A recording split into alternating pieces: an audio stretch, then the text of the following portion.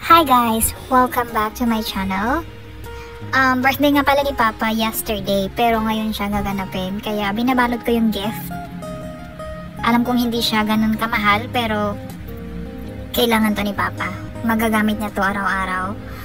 And, since naninibago ako sa pagbalot ng gift, kasi hindi naman ako araw-araw nagbabalot ng gift, yan, nalilito pa ako paano ko siya balutin. Kwento ko nga lang pala sa inyo guys. Alam nyo ba dati na hindi kami nakakapagbigay ng gift sa parents namin or even parents namin hindi nakakapagbigay ng gift sa amin kapag birthday kasi hindi naman kami ganyan kayaman. Um, nakakakain po kami tatlong beses sa isang araw pero yung mga gift hindi siya namin nabibigay or nabibili kasi nga sakto lang yung budget namin.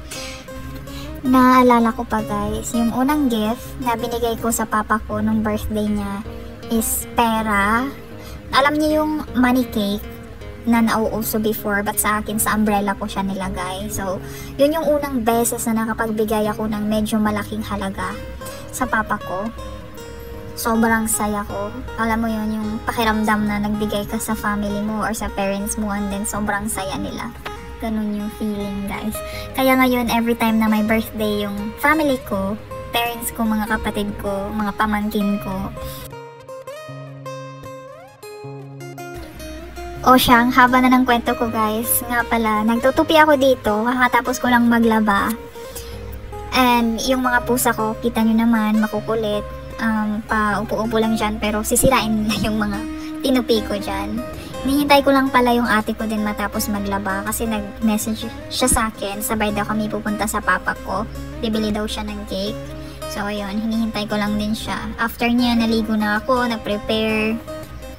Tapos, ni-ready ko na yung... Ay, sorry guys, naputol yung voice over ko. Um, sorry nga pala guys, kasi nga, na nauutal ako. Hindi kasi ako sanay mag-voice over tinry ko siya before pero nung pinakinggan ko yung sarili ko, um, kinikilabutan ako sa mga pinagsasabi ko. O siya, continue na tayo. Um, dumating na nga pala yung ate ko and bumili na kami ng cake doon lang sa malapit na bakery sa amin. Sikat na bakery, masarap yung cake nga pala nila. Tig-isa kami, isa sa ate ko, isa sa akin. Iba-ibang dedication. And then dumating na kami sa bahay ng papa ko. Ayan yung papa ko and yung apon niya. Ito nga pala yung handa ng papa ko. Um, thank you nga pala sa tita ko na sobrang sipag maglo magluto. Ang sarap ng mga food na hinanda niya. And uh, 55 years old na si papa nga pala guys. Ayan, may lechon, may palechon si tita. Ito nga pala yung gift na binalot ko for papa. Marami siyang chocolates. Pero merong mga personal hygiene kit na magagamit niya araw-araw. Mukha namang nagustuhan ni Papa. Ang feeling ko ang pinaka nagustuhan niya dyan is yung cologne. Hindi siya masyadong matapang. Kasi ayaw ni Papa ng matapang yung amoy. Ayan. Ayan, yung nagustuhan niya. And, umakyat nga kamala kami sa taas kasi yung pinsan ko, galing sa province, dumating.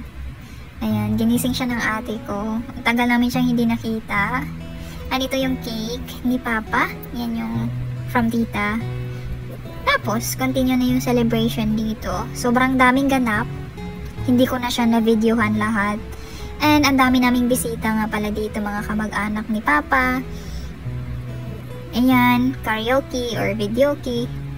Um, nakasanayan ng mga Pinoy. Pag uwi ko sa bahay nga pala guys, ayan, tulog ang mga baby ko. Napagod sila kakahintay sa akin. Naawa nga ako eh, kasi 6 na yata ako nakauwi ng gabi. Madilim na, so wala silang ilaw pag uwi ko.